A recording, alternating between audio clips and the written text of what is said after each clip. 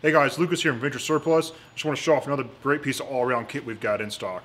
So this here is a tactical assault panel, or TAP for short, as I'll refer to it for the rest of this time.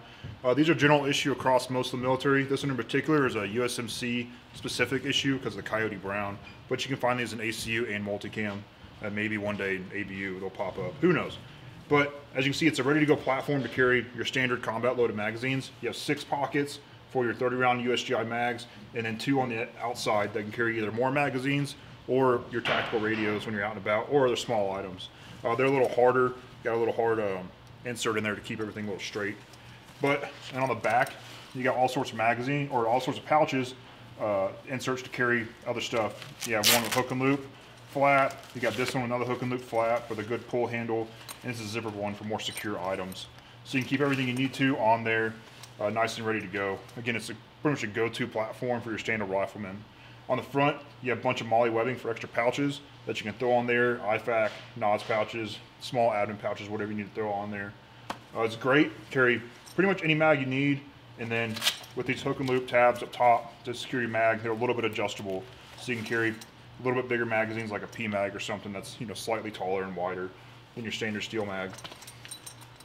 So these vests are made to be worn standalone or over kit. So they have a lot of different adjustments and you can attach them multiple different ways. Right now I just have the suspenders on and as you can see you got buckles right here and you got some on the side. All these can be adjusted down tight to fit around you if you're not wearing body armor or it can be adjusted out to fit over body armor. These do come when issued with multiple different mounting options so you can mount it directly to your IOTV, your plate carrier or such on the on right here on the chest and on the sides to cinch it down. But again, this is with the suspenders and the yoke back here. So why you might want to consider like getting one of these is if you're just getting into the tactical kind of realm, you're not sure how to lay out your pouches, you're not really sure what's going on. Um, these are great because it's, it's ready to go. Everything's right there, simplified for you. You got plenty of magazine space. You got space on the back for all your extra things you got to carry around.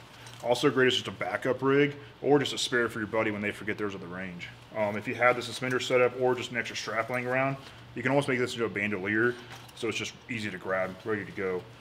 But they're good, affordable at the price point, and you carry full combat load of magazines right here, ready to go. Um, so overall, it's just a good buy for any level of tactical experience because it, it serves a lot of purposes.